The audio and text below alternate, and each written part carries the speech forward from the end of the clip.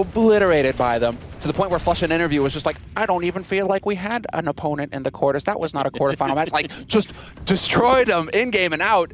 And now Gambit are up 8-1 on CT side overpass and are just completely wrecking Godsend. Just how the tables have turned, Yeah. Swedes. I mean, this is amazing, and you, uh, we have to get so much of the credit here. Zeus Thorin, I Woo! think, rightly was pointing it out that this we don't normally associate Gambit with overpass, but here they are. And I th here's the trouble uh, that I really think